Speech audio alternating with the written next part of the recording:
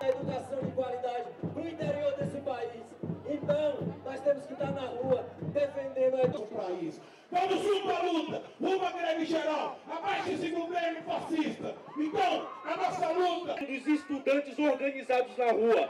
Esse governo se mostra acovardado quando os estudantes.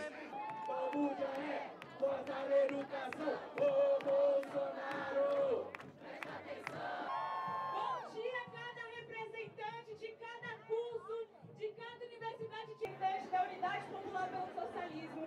partido que está quase sendo legalizado aí.